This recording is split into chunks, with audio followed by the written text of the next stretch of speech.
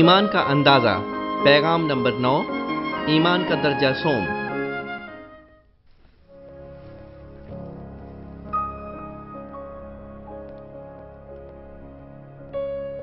Romeo بارہ باب تین آئے۔ میں اس توفیق کی وجہ سے جو مجھ کو ملی ہے تم میں سے ہر ایک سے کہتا ہوں کہ جیسا سمجھنا چاہیے اس سے زیادہ کوئی اپنے آپ کو نہ سمجھے۔ بلکہ جیسا خدا نے ہر ایک کو اندازہ کے موافق ایمان تقسیم کیا ہے اعتدال کے ساتھ اپنے آپ کو ویسا ہی سمجھے۔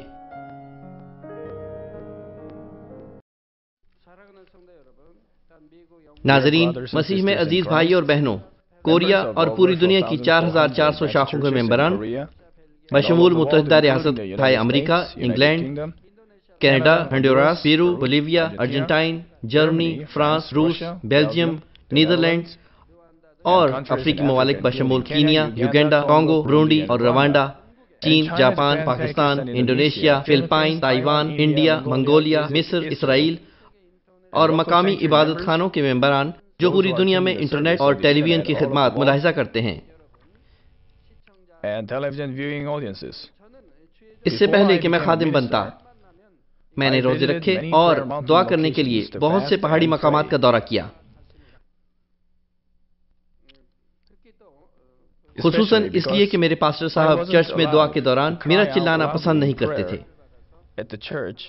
یہ مجھے ان دعائیا پہاڑوں پر جانا پڑا۔ ایک دن پورے ملک سے بہت سے پاسٹر ایک پہاڑ پر دعا کرنے کے لیے جمع تھے اور میں نے ان کی گفتگو سنی۔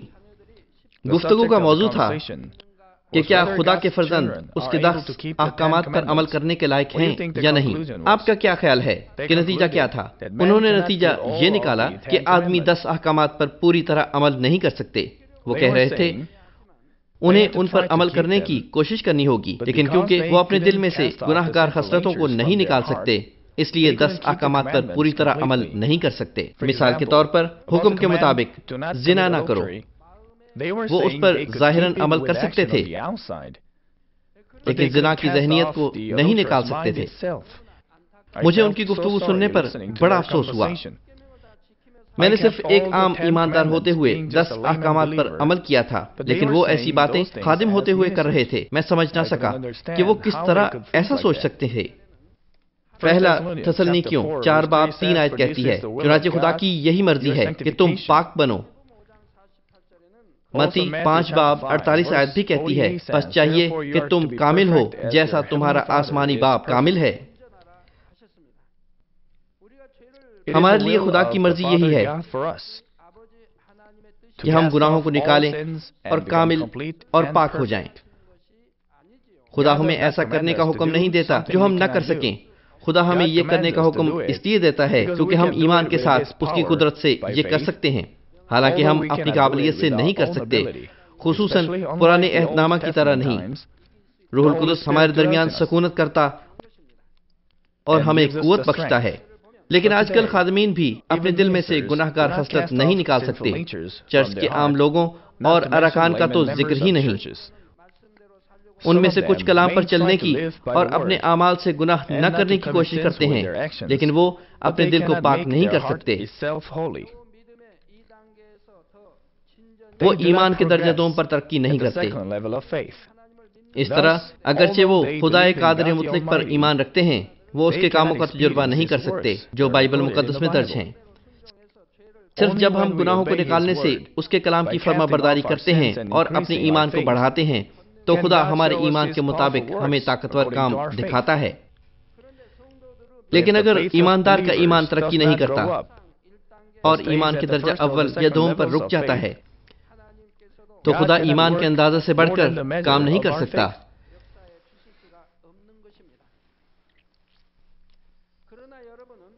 لیکن آپ نے ان پیغامات کے وسیلہ خدا کی بابت سیکھا ہے۔ آپ کو صرف وہی گناہ نہیں نکالنے چاہیے جو عملاً کیے ہوں بلکہ اپنے دل میں سے گناہ گار خسرت کو بھی نکالنا چاہیے۔ آپ جانتے ہیں کہ آپ کا ایمان گناہوں کو نکالنے کے لیے بڑھ رہا ہے۔ پیغامات کو سننے کے بعد آپ جس قدر اپنے آپ کو تبدیل کرتے ہیں خدا کا کلام جو زندہ اور متحرک ہے آپ کی زندگیوں میں کام کرے گا تاکہ آپ خدا کے حیرت انگیز کاموں کا تجربہ کرنے کے قابل ہو سکیں پھر آپ خدا کا انکشاف کر سکتے ہیں جو قادر مطلق اور عالم الغیب ہے۔ اور آپ اس کو جلال دے سکتے ہیں جو اپنے بچوں کو برکت دیتا ہے۔ میں امید کرتا ہوں کہ آج پیش کیے گئے پیغام کے ذریعے آپ اپنے ایمان کا معائنہ کر سکتے ہیں اور بہت جلد ایمان کے بلند درجات پر جا سکتے ہیں۔ یہ کرنے سے آپ خدا کے کاموں کا تجربہ کر سکتے ہیں جن میں سے کوئی بھی ناممکن نہیں اور اپنی زندگیوں سے خدا کو جلال دے سکتے ہیں۔ جو پوری طرح گواہیاں بن چکی ہیں۔ میں خداون کے نام میں دعا کرتا ہوں۔ ناظرین یہ ایمان کے اندازہ کا نوواں اجلاس ہے۔ اور آج میں ایمان کے درجہ سوم کی بابت بات کروں گا جو پچھلے اجلاس سے جاری ہے۔ میں نے آپ کو ایمان کا درجہ سوم بتایا تھا جو کلام پر عمل کرنے کا درجہ ہے۔ درجہ دوم عمل کی کوشش کا درجہ ہے۔ اور درجہ سوم حقیقت میں عمل کرنے کا درجہ ہے۔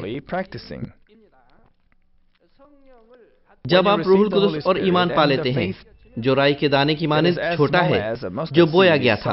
آپ ایمان کے درجہ اول پر مسیحی زندگی کی شروعات کرتے ہیں۔ بیج اگے گا اور نشنما پائے گا تاکہ آپ عمل کرنے کے لیے ایمان پائیں۔ جس قدر آپ اپنے دل میں اس پر عمل کرنے سے خدا کے کلام کو سمجھتے ہیں۔ آپ ایمان میں بڑھتے ہیں۔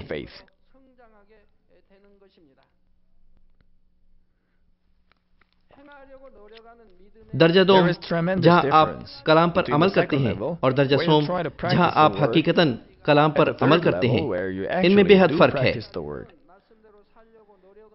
درجہ دوم تک آپ کلام پر عمل کرنے کی کوشش کرتے ہیں لیکن چونکہ آپ پوری طرح اس پر عمل نہیں کرتے تو ایسے لگتا ہے کہ آپ دونوں یعنی دنیاوی چیزیں اور کلیسیائی اور خداوت کی چیزیں بھی رکھتے ہیں۔ لیکن درجہ سوم پر آپ کے کام اور اعمال تبدیل ہو جاتے ہیں۔ آپ اپنی روزمرہ زندگی میں نور اور نمک بن جاتے ہیں۔ چنانچہ آپ کے ارد گرد لوگ اکثر کہتے ہیں ایک سچا ایماندار مختلف ہوتا ہے۔ اگر کوئی بلا وجہ آپ کو لان تان کرتا ہے یا جھڑکتا ہے آپ بدلے میں لڑائی نہیں کرتے بلکہ اسے خاموشی سے برداشت کر لیتے ہیں۔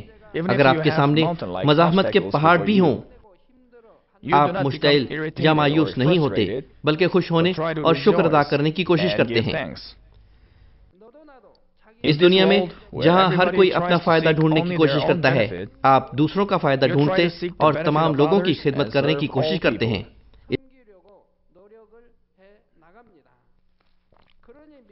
اس طرح درجہ سوم سے تعلق رکھنے والوں کو دنیا دار لوگ بھی کہہ سکتے ہیں کہ جب سے یہ خدا پر ایمان لایا ہے تب سے مختلف ہو گیا ہے۔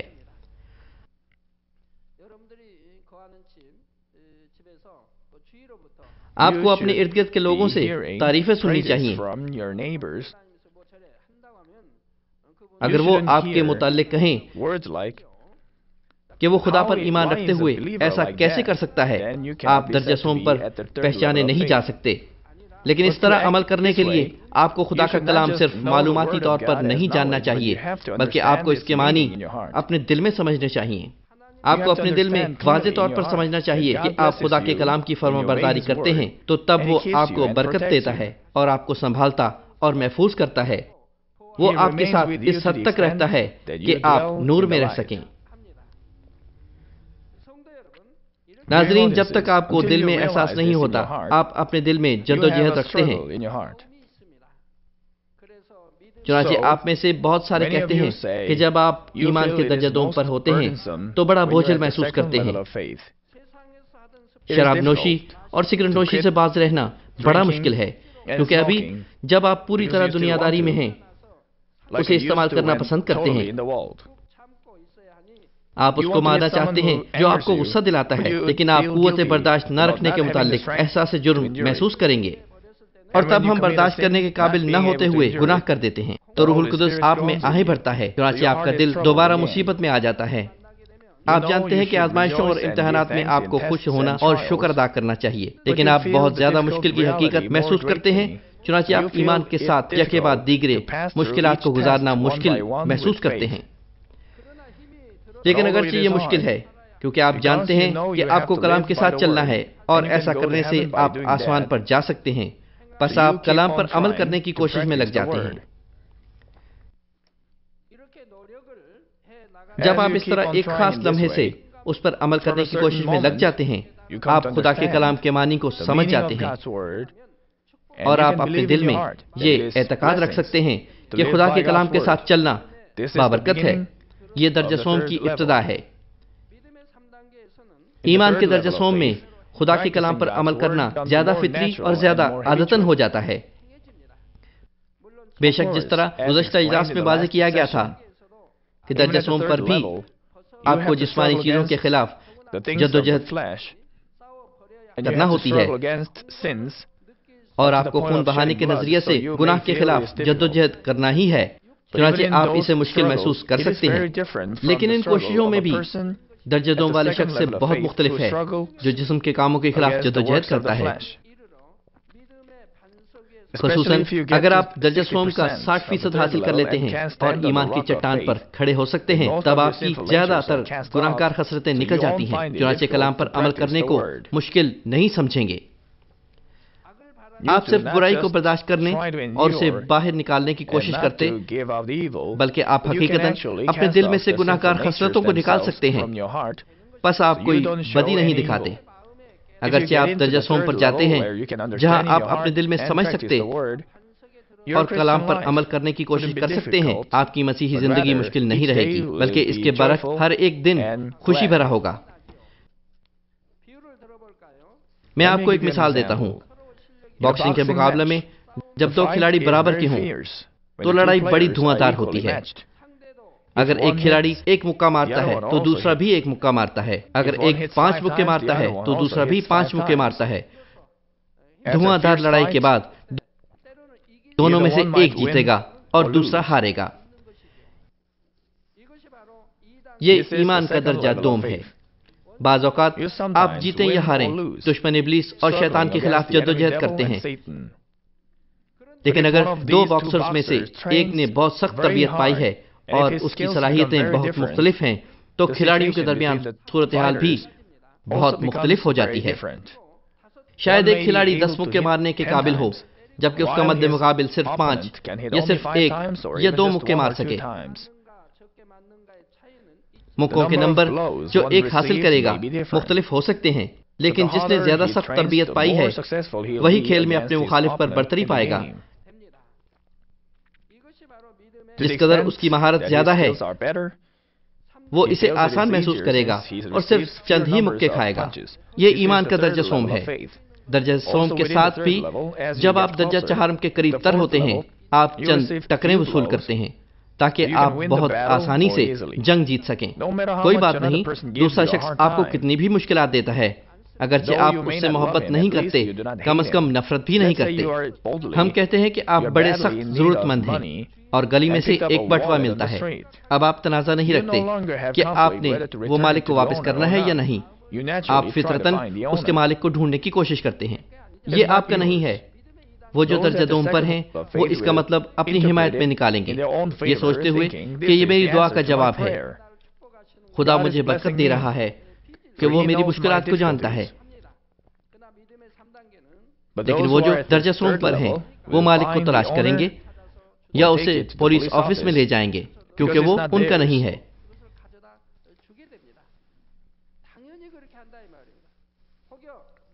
درجہ سوم کی ابتدائی سطح پر آپ ایک لمحہ کے لیے اسے اپنی ذات پر خرچ کرنے کی خواہش کر سکتے ہیں۔ لیکن آپ یقیناً واپس آ جائیں گے۔ یہ ایمان کا درجہ سوم ہے۔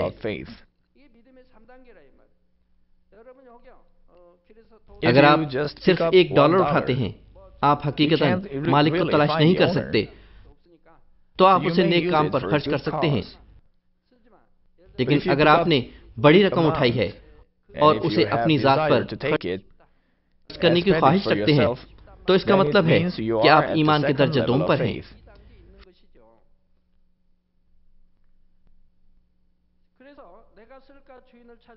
فطرتاً آپ مالک کو تلاش کرنے کی کوشش کریں گے۔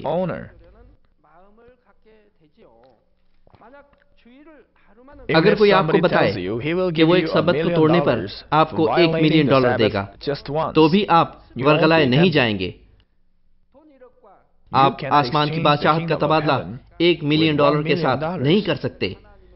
آپ سبت کو توڑنے سے خدا کو مایوس نہیں کریں گے۔ اگر آپ درجہ سوم کی ابتدا پر ہیں آپ سوچ سکتے ہیں کہ کیا میں اسے ایک مرتبہ نہیں توڑ سکتا؟ ایک ملین ڈالر بڑی رقم ہے۔ میں اس پیسے سے چرچ کی تعمیر کی پیشکش کر سکتا ہوں۔ آپ وقتی طور پر اس قسم کا خیال کر سکتے ہیں۔ اگر آپ درجہ سوم کی شروعات میں ہیں۔ لیکن آخر آپ اس سوچ کو دور نکال دیں گے۔ اور جب تک درجہ سوم پر ہیں سبت کو مانتے رہیں گے۔ آپ کے درجہ سوم میں جانے کے بعد جس قدر آپ ایک ایک کر کے جسمانی چیزوں کو نکالیں اور درجہ چہان پر جانے کے قریب ہوں گے اور آپ مسیح میں زندگی بسر کرنے کے لیے زیادہ آسانی محسوس کر سکتے ہیں۔ لیکن ایمان کے درجہ اول اور دوم پر ایسے لوگ ہیں جو مسیحی زندگی بسر کرنا آسان محسوس کرتے ہیں۔ وہ کس قسم کے لوگ ہیں؟ وہ ایسے ہیں جو نیک دل رکھتے ہیں۔ اور جس لمحہ سے وہ خدا سے ملے ہیں انہوں نے خدا کے کلام کی فرما برداری شروع کر رکھی ہے جو انہوں نے سنا اور سیکھا ہے۔ وہ پھینک دیتے ہیں جو خدا ہمیں پھینکنے کو کہتا ہے اور وہ کام نہیں کرتے جو کرنے سے خدا ہمیں منع کرتا ہے اور وہ وہی کچھ کرتے ہیں جو خدا کرنے کو کہتا ہے۔ چنانچہ وہ حقیقتاً اپنے دل میں کوئی جد و جہد نہیں رکھتے۔ بس وہ فوراً جسمانی کاموں کو نکال دیتے ہیں۔ وہ جلد ہی درجہ دوم میں چلے جائیں گے جبکہ وہ خدا کی مرضی سے درجہ دوم میں ہیں۔ وہ فوراً درجہ سوم میں چلے جاتے ہیں۔ کیونکہ بعض لوگ ایمان کا درجہ اول اور دوم پاس کر کے درجہ سوم میں چلے جاتے ہیں جس میں چند مہینے یا چھ مہینے لگے یا پھر بعض لوگوں کے لیے پانچ چھ یا دس سال بھی لگ سکتے ہیں۔ اور ابھی تک وہ درجہ دوم پر رکے ہوئے ہیں۔ حالانکہ وہ مسیحی پیدا ہوئے تھے اور اب بڑے بوڑھے ہیں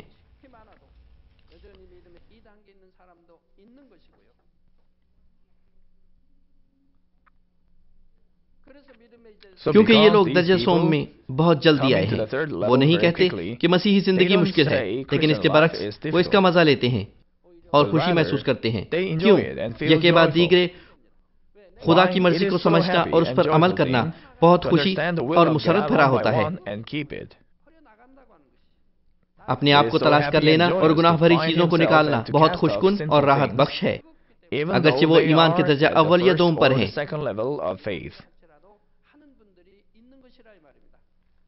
وہ بہت جلد درجہ جہرم روح کے درجہ اور پانچویں درجے میں بھی چلے جائیں گے۔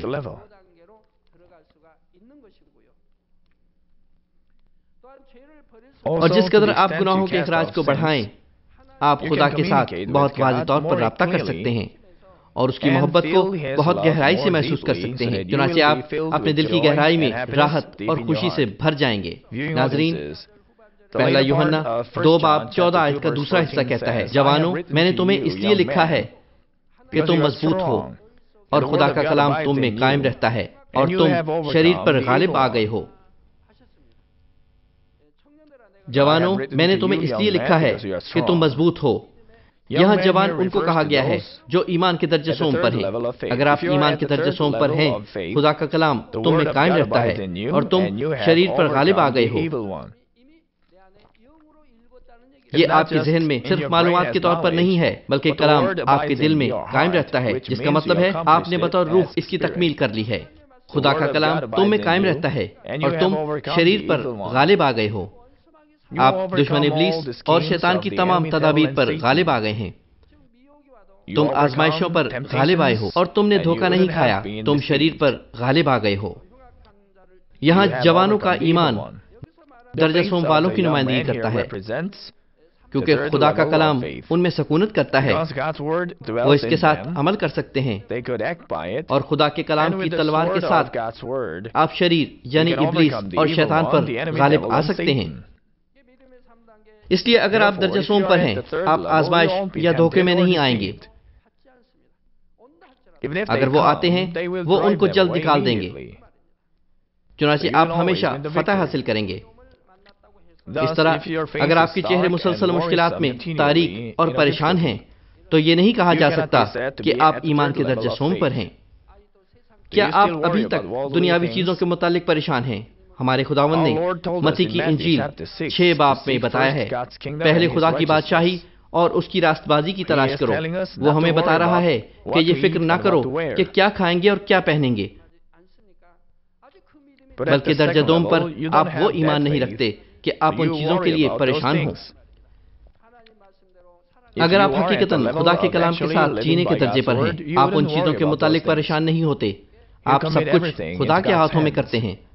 آپ جانتے ہیں کہ خدا آپ کی دعا کا یقینی جواب دیتا ہے۔ آپ یہ بھی جانتے ہیں کہ وہ آپ کے لیے کام کرے گا۔ البتہ آپ پریشان نہیں ہوں گے۔ اگر آپ کسی چیز کے متعلق پریشان ہیں تو یہ صرف خدا کی بادشاہی اور راست بازی ہے۔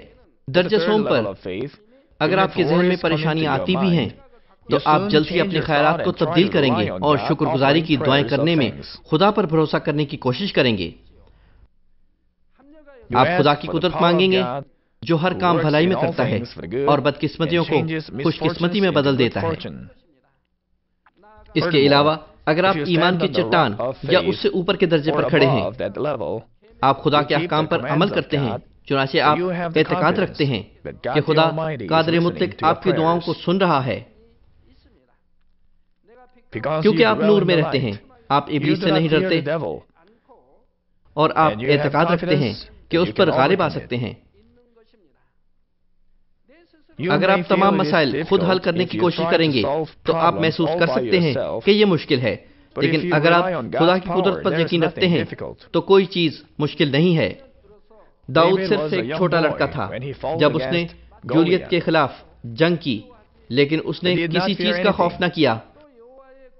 اس نے اعتراف کیا۔ اور یہ ساری جماعت جان لے کہ خدا تلوار یا بھالے سے نہیں بچاتا کیونکہ جنگ خداوند کی ہے اور وہ تمہیں ہمارے ہاتھ میں کر دے گا۔ اور بہادری کے ساتھ جولیت کو شکست دی۔ کیونکہ وہ جانتا تھا کہ خدا اس کے ساتھ ہے۔ اس نے اپنی زندگی کے خطرے کا کوئی خوف نہ رکھا۔ وہ خداون کے کام میں جرت کے ساتھ باہر نکلا۔ بس خدا اس کے ساتھ تھا اور خدا نے اسے فتح دلائی۔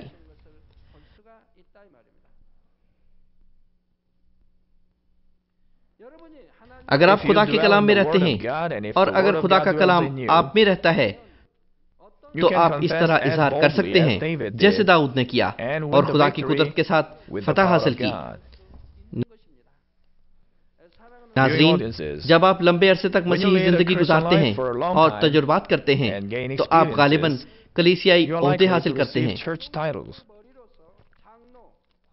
آپ ایلڈر سینئر ڈیکن یا مقامی لیڈر یا روحوں کی نگہبانی کے لیے چھوٹے گلے کے لیڈر بن جاتے ہیں۔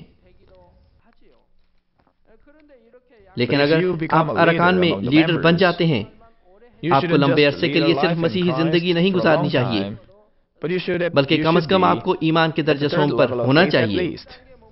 اگر آپ کلام پر عمل نہیں کرتے اور اپنے ایمان کو ایسا بنانے کے قابل نہیں ہیں جو ایمان کے درجہ دوم پر کھڑا ہو۔ آپ حقیقت دوسری روحوں کی رہنمائی نہیں کر سکتے۔ اگر آپ کافی لمبے عرصے سے لیڈر بننے کے لیے مسیحی ہیں آپ کو کم از کم ایمان کے درجہ سوم پر ہونا چاہیے۔ اگر آپ درجہ دوم پر ہیں تو آپ دوسروں کی رہنمائی درجہ سوم کی طرف کیسے کر سکتے ہیں؟ آپ کو کم از کم درجہ سوم پر ہونا چاہیے تاکہ درجہ اول والوں کی رہنمائی درجہ دوم اور درجہ دوم والوں کی درجہ سوم تک کر سکیں۔ اگر آپ ایک لیڈر بننے کے لیے کافی لمبے عرصے سے مسیحی ہیں تو کم از کم آپ کو درجہ سوم پر ہونا چاہیے۔ اگر آپ پانچ یا دس سال مسیحی رہنے کے بعد درجہ سوم پر ہیں تو یہ رفتار بہت کم ہے۔ پانچ یا دس سال میں کم از کم آپ کو روح کے درجہ میں ہونا چاہیے۔ آپ بہت سے پیغامات سن چکے ہیں اور اگر آپ ابھی تک درجہ دوم پر ہیں اس کا مطلب یہ ہے کہ آپ کلام کے تمام معنی بھلا چکے ہیں۔ آپ نے توجہ نہیں دی اور خدا کے سامنے یہ کتنا تکلیف دہ ہے۔ درجہ دوم سے درجہ سوم میں جانے کے لیے زیادہ وقت نہیں لگے گا۔ بشرطے کہ آپ کوشش کریں۔ بے شک اگر آپ لمبے عرصے تک کوشش نہیں کرتے تو آپ درجہ دوم پر رکے رہیں گے۔ یا شاید آپ درجہ اول کی طرف معذول ہو سکتے ہیں۔ اس بدترین معاملہ میں آپ نجات بھی نہیں پا سکتے۔ اس لیے مکاشفہ تین باب پندرہ سے سولہ آیت کہتی ہے میں تیرے کاموں کو جانتا ہوں کہ نہ تو سرد ہے اور نہ گرم۔ کاش کہ تو سرد یا گرم ہوتا۔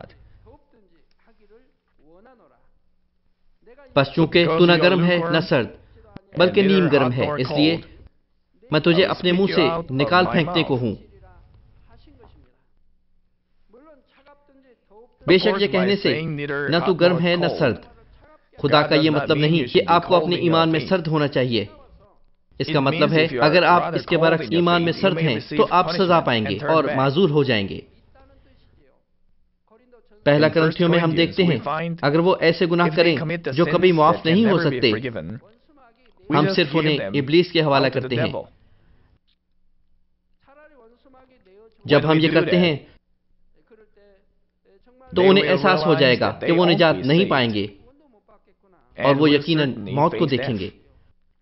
وہ اپنے دل میں تنازع محسوس کریں گے تاکہ وہ توبہ کریں اور واپس آ جائیں۔ تب وہ کم از کم بچ جائیں گے۔ اس لیے خدا فرماتا ہے ہمیں اپنے ایمان میں گرم ہونا چاہیے لیکن اس کے برعکس نیم گرم ہونا سرد ہونے سے بہتر ہے۔ لیکن ہمیں اپنے ایمان میں سرد نہیں ہونا چاہیے۔ ٹھیک ہے؟ لیکن اگر آپ نیم گرم ہیں اور آپ کا ایمان بڑھنے سے رک چکا ہے تو آپ کو اپنے مسئلہ کا احساس نہیں ہوتا اور ایک خاص نقطے پر روح القدس شاید معدوم ہو جائے لیکن اگر آپ ایک کلیسیائی عہدہ رکھتے ہیں تو آپ کو یقیناً اپنے آپ کو بدلنے اور ایمان کے درجہ سوم پر ہونے کے لیے بہترین کوشش کرنی چاہیے۔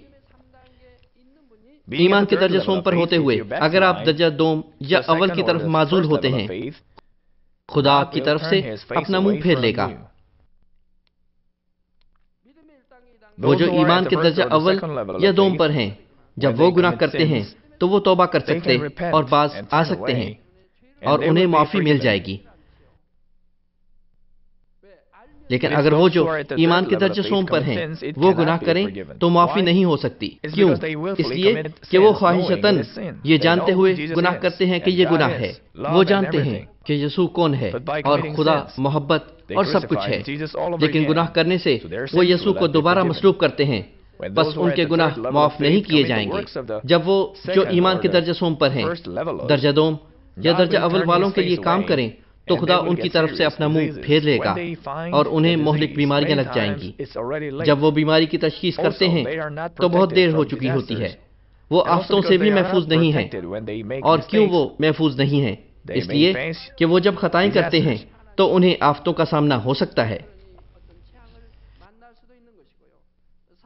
وہ جو کاروبار کرتے ہیں ان کا کاروبار خراب ہو جائے گا۔ کیونکہ وہ درجہ سوم سے درجہ دوم پر آئے ہیں۔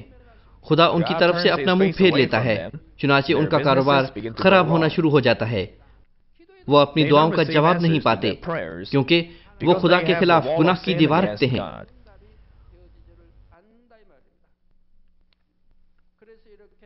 وہ درجہ سوم سے درجہ دوم اور دوم سے اول پر آئے ہیں۔ اور کیونکہ وہ مزید خدا کے سامنے وفادار بھی نہیں ہیں۔ وہ اپنے آپ کو دنیاوی تفریحات یعنی شہرت اور صرف پیسہ کی کمائی سے بہلانا شروع کر دیتے ہیں۔ خدا کو ان کی طرف سے اپنا منہ پھیر دینا ہے اور وہ مسائل کا منہ دیکھنا شروع کریں گے۔ وہ اپنے کاروبار میں مشکلات اور خاندان اور بچوں میں مسائل رکھتے ہیں۔ یا وہ جیل بھی جا سکتے ہیں۔ اگر خدا ان کی حفاظت کرے اگر وہ خطائیں بھی کر لیں خدا ان کی بہتری کے لیے کام کرے گا۔ لیکن کیونکہ خدا ان کی طرف سے اپنا منہ پھیر لیتا ہے جب وہ خطا کرتے ہیں وہ محفوظ نہیں ہے۔ چنانچہ وہ تباہی کا سامنا کریں گے۔ مثال کے طور پر اگر آپ ایک خطا کرتے ہیں اور آپ کی کار سامنے سے ٹکر کھا جاتی ہے آپ محفوظ نہیں رہیں گے۔ لیکن اگر آپ حقیقتاً مرد ایمان ہیں اگر آپ خطا کر بھی لیں اور ٹریفک حادثہ کا سبب بن بھی جائیں خدا آپ کی حفاظت کرتا ہے اور آپ زخمی نہیں ہوتے۔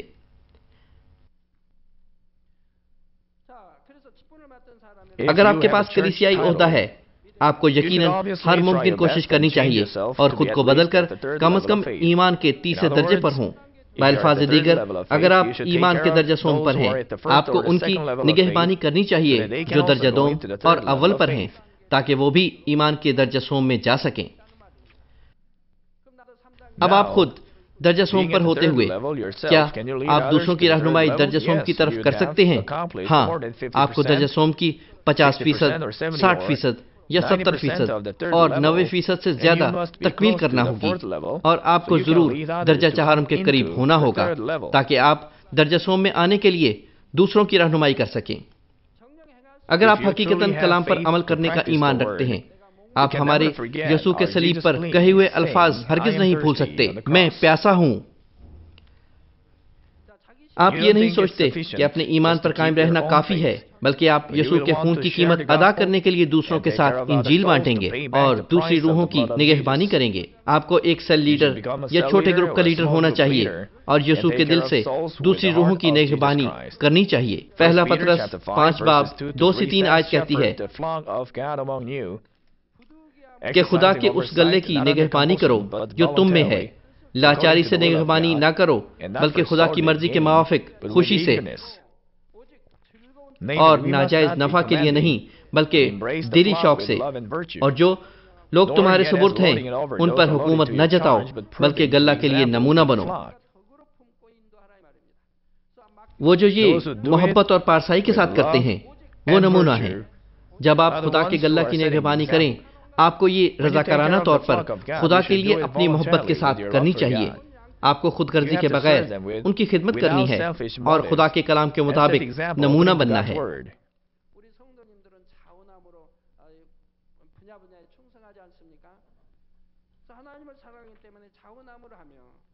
بہت سے ایسے بزرگ ہیں جو متواتر ہمارے چرچ کے نیوز لیٹر تقسیم کرتے ہیں۔ کیا وہ کسی کے دباؤ سے یا کسی اجرت کے لیے ایسا کرتے ہیں وہ رضاکارانہ طور پر کرتے ہیں کیونکہ وہ خدا سے پیار کرتے ہیں۔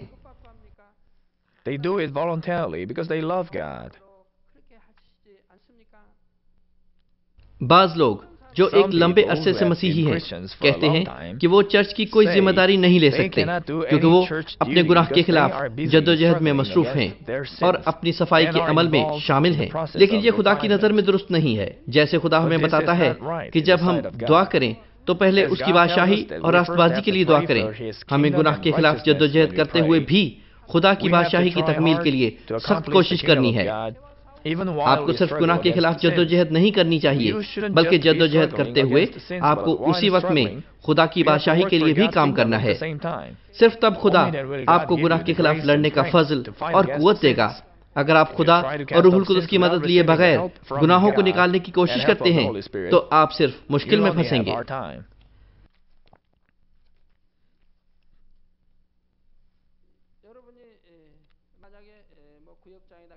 اگر آپ سیل کے لیڈر ہیں یا چھوٹے گروپ کے لیڈر ہیں یا کوئی اور لیڈر ہیں آپ کو ایمان کے درجہ سوم پر ہونا چاہیے۔ لیکن بعض اوقات وہ جو درجہ سوم پر نہیں ہوتے سیل لیڈر اور چھوٹے گروپ کے لیڈر بن جاتے ہیں۔ یہ اس لیے ہے کہ سیل میں یا چھوٹے گروپ میں زیادہ ممبر نہیں ہوتے اور وہاں حقیقت میں ایسا ممبر نہیں ہوتا جو کافی زیادہ ایمان رکھتا ہو چنانچہ آپ ان میں سے ایک اچھا شخص چن لیتے ہیں۔ چنانچہ بعض اوقات اگر آپ درجہ سوم پر نہ بھی ہوں آپ ایک لیڈر بن جاتے ہیں لیکن آپ جانیں کہ آپ اپنے گروپ میں اچھے شخص ہیں اور آپ جلدی سے درجہ سوم میں جا سکتے ہیں۔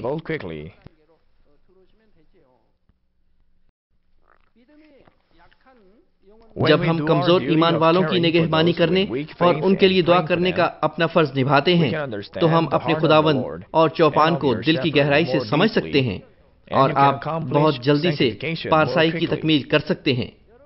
آپ خدا کے مزدور کی حیثیت سے استعمال ہو کر ترقی پا سکتے ہیں کیونکہ وہاں آپ کی نگہبانی اور رہنمائی کرنے والے لوگ تھے جب آپ تھوڑا ایمان رکھتے تھے۔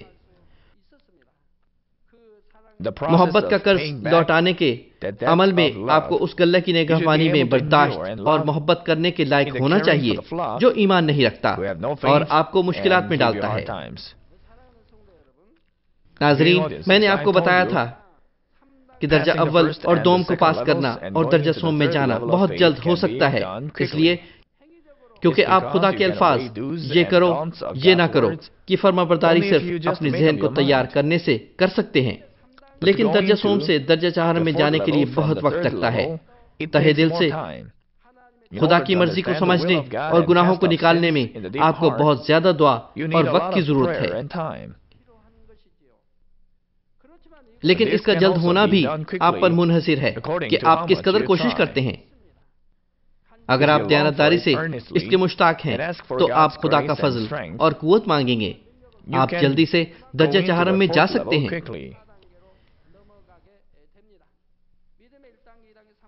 ایمان کے پانچ درجات میں سے درجہ سوم سے چہارم میں جانے تک لمبا ترین وقت لگتا ہے۔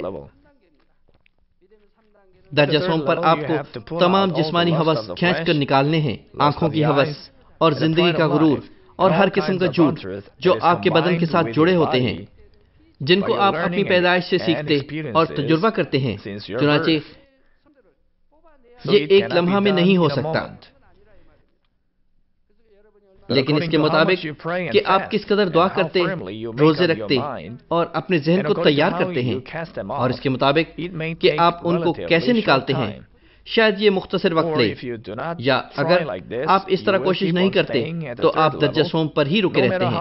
چاہے آپ نے کتنی لمبی مسیحی زندگی گزاری ہو۔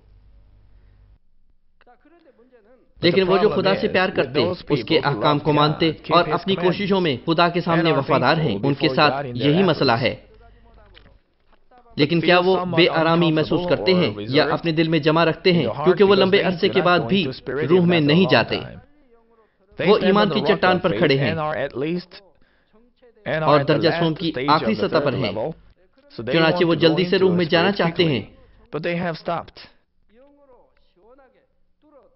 اگلے اجلاس میں میں آپ پر واضح کروں گا کہ کیسے آپ اپنے ایمان کی رکاوٹ پر غالب آ سکتے ہیں اور جلدی سے روح میں جا سکتے ہیں۔ آپ میں سے بہت سے ایمان کے درجہ سوم پر ہیں۔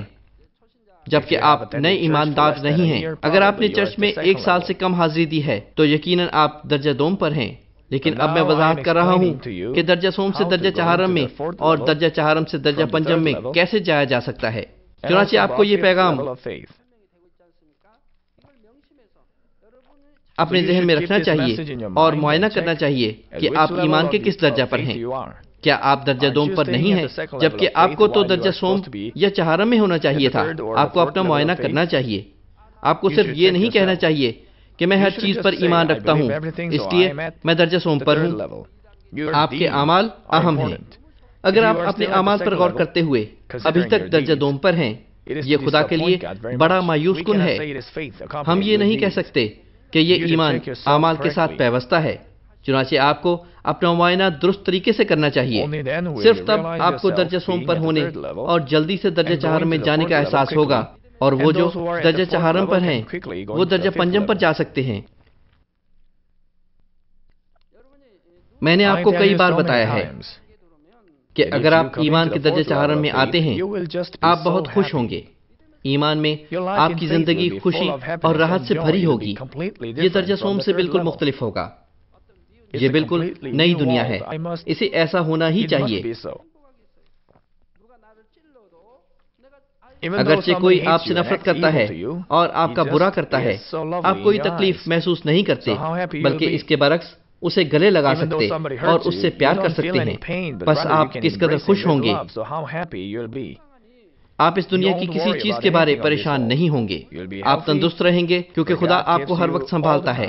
آپ کو کسی بیماری کے متعلق پریشان نہیں ہونا۔ آج کل بہت سے لوگوں کو کینسر ہے لیکن آپ کو اس قسم کی کسی چیز کے لیے پریشان نہیں ہونا۔ اگر آپ کو کینسر ہے تو برائے مہربانی آپ سوچیں کہ آپ نے کس قسم کی مسیحی زندگی گزاری ہے؟ کیا آپ نے برے اعمال کے ذریعے خدا کو مایوس تو نہیں کیا؟ آپ ایمان تو رکھتے ہیں لیکن خدا کے کام نہیں کرتے۔ اگر آپ مڑ کر اپنی طرف دیکھتے ہیں اور کلام مقدس میں اپنا عکس دیکھتے ہیں آپ کو جواب مل جائے گا۔ آپ اسے فریب نہیں دے سکتے۔ خدا منصف ہے۔ اگر آپ ایمان کے درجہ چہارم میں آتے ہیں غربت چلی جائے گی۔ آپ امیر ہو جائیں گے۔ خدا آپ کو امیر ہونے کی برکت دے گا۔ آپ شہرت بھی حاصل کریں گے۔ آپ اختیار بھی پالیں گے جو خدا کے فرزند ابلیس اور شیطان پر حکومت کرنے کے لیے رکھتے ہیں۔ آپ تاریخی پر حکومت کرنے کے لیے اختیار حاصل کریں گے۔ آپ ہر وقت خوش رہیں گے اور اطمینان پائیں گے۔ آپ شکر گزاری سے بھرے ہوئے ہوں گے۔ ایمان کے درجہ چہارم میں آنا کیسا بابرکت ہے۔ آپ کو کسی چیز کے لیے غم نہیں کرنا ہوگا۔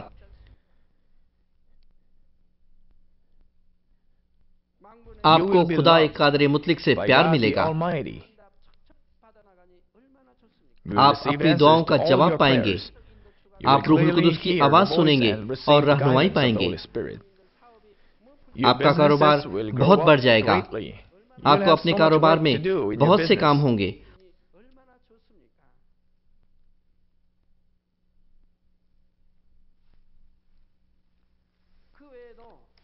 اور بہت سی دیگر چیزیں بھی ہوں گی۔ میں کچھ کہوں گا تو برائے مہربانی حرام کار محسوس نہ کریں۔ بعض مرد ارکان مشکل میں ہیں کیونکہ وہ زناکاری کو نکالنا چاہتے ہیں لیکن نہیں نکال سکتے۔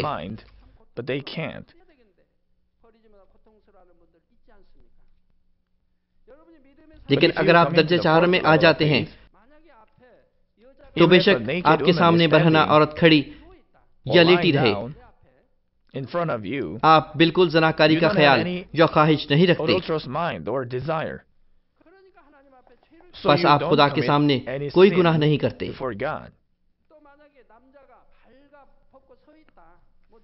ہم کہتے ہیں کہ اگر کوئی مرد بھی کسی عورت کے سامنے بڑھنا کھڑا یا لیٹا ہو اور کوئی عورت اسے دیکھے تو وہ بھی زناکاری کا کوئی ذہن نہیں رکھتی۔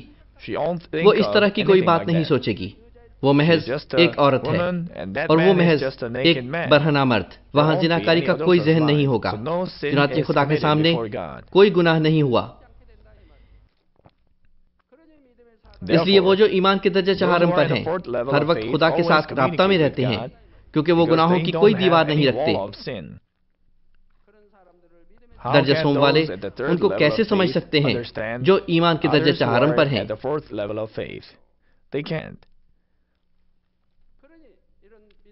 وہ نہیں سمجھ سکتے کہ درجہ چہارم والے کس قدر خوش ہیں کیونکہ وہ خدا کے سامنے کوئی گناہ نہیں کرتے۔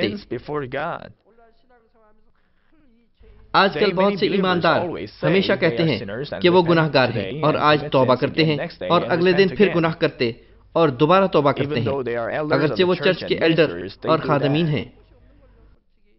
وہ ایسا ہی کرتے ہیں۔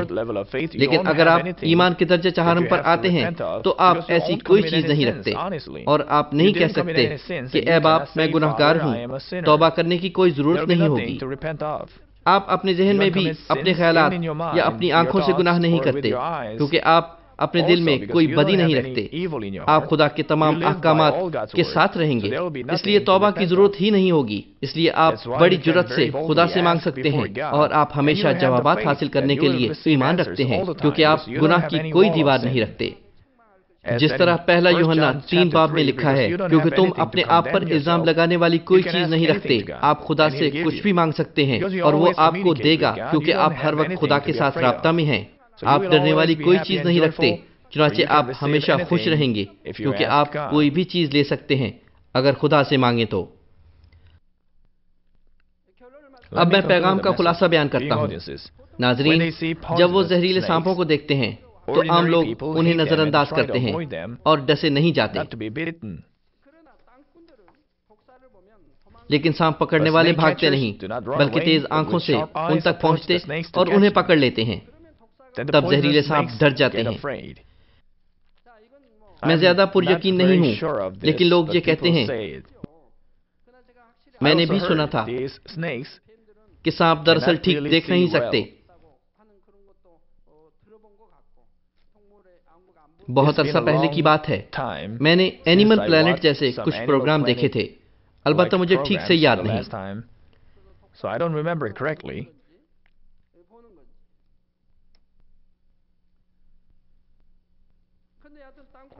لیکن کسی بھی طرح وہ سانپ پکڑنے والے مزید سانپ چاہتے ہیں۔ وہ سانپوں سے ڈرتے نہیں۔ وہ مزید چاہتے ہیں۔ اور انہیں پکڑنے کے لیے ان کے قریب جاتے ہیں۔ تب وہ سانپ خوف زدہ ہو جاتے ہیں۔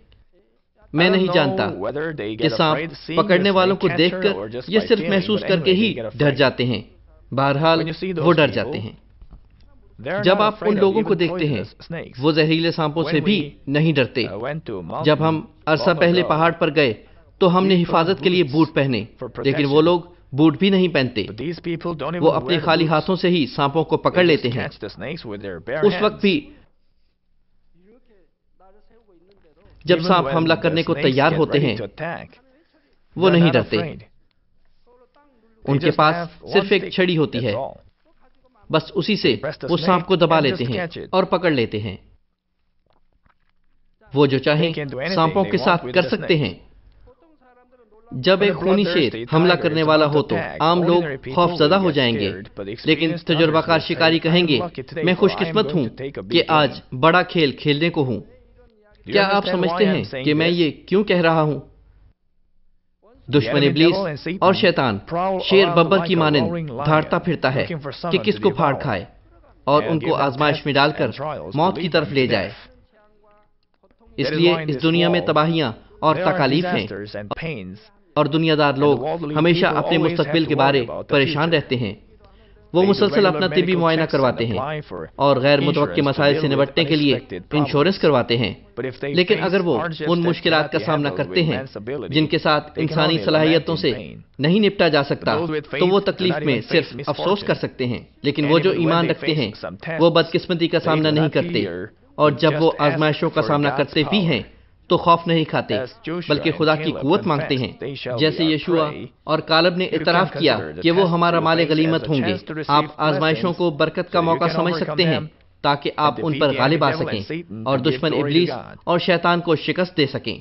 یعقوب چوتھا باب سات آیت کہتی ہے پس خدا کے تابع ہو جاؤ اور ابلیس کا مقابلہ کرو۔ تو وہ تم سے بھاگ جائے گا۔ جیسے کہا گیا ہے میں امید کرتا ہوں کہ آپ خدا کے کلام کے تابع ہو جائیں گے اور پوری طرح نور میں رہیں گے۔ میں خداوند کے نام میں امید کرتا ہوں کہ آپ بہادری سے ابلیس کا مقابلہ کریں گے اور ہمیشہ فتح پائیں گے تاکہ آپ وہ روحانی جنگجو بن جائیں جو خدا کو جلال دیتے ہیں اور بہت سی روحوں کو خدا کی طرف لاتے ہیں۔ آمین۔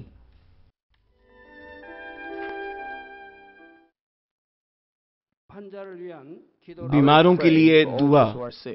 میں ان سب لوگوں کے لیے دعا کروں گا جو بیمار ہیں۔ آپ اپنے بدن کے اس حصہ پر اپنا ہاتھ رکھ لیں جہاں پر بیماری ہے اور اس دعا سے استفادہ کیجیے اگر آپ بیمار نہیں ہیں لیکن اپنی دلی مرادیں پانا چاہتے ہیں، تو اپنا ہاتھ اپنے سینے پر رکھ لیجیے خدا کا زندہ کلام وقت اور فاصلے کی قیود سے آزاد ہے اور آپ کے ایمان کے مطابق آپ کے لیے کام کرے گا۔ آپ جہاں کہیں بھی ہوں، اگر ایمان کے ساتھ اس دعا کو قبول کریں گے، تو آپ خدا کی قدرت کے حیران کن کام دیکھیں گے۔ حاللویا قادر مطلق خدا، تو جو محبت ہے، اپنے بچوں پر اپنے ہاتھ کو رکھ، اور تمام جی سی این دیکھنے والوں پر بھی، جو ایمان سے اس دعا کو ٹی وی کے ذریعہ قبول کرتے ہیں۔ اپنا ہاتھ ان پر رکھ اور اپنے عجیب کام جو وقت اور فاصلے کی قیود سے آزاد ہیں، ان تمام لوگوں کی زندگیوں میں دکھا جو دنیا کے کسی بھی کونے میں ہیں۔ ان کو ایسا ایمان عطا فرما جس کے وسیلہ سے ان کے تمام شکوک و شبہات ختم ہو جائیں۔ ان کی زندگی سے تمام دکھ اور مشکلات جاتی رہیں۔ روح القدس کی آگ سے جلا کر اور یسو کے پاک خون کے وسیلہ سے دھو کر پاک کر دے۔ سر سے لے کر پاؤں تک سارے جسم میں خدا کی عظیم تخلیقی قوت آشکار ہو۔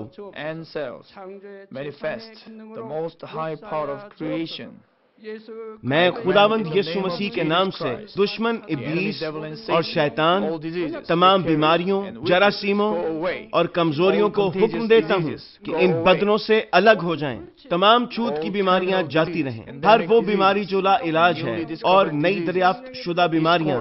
روح القدس کی آگ سے جل کر بھسم ہو جائیں۔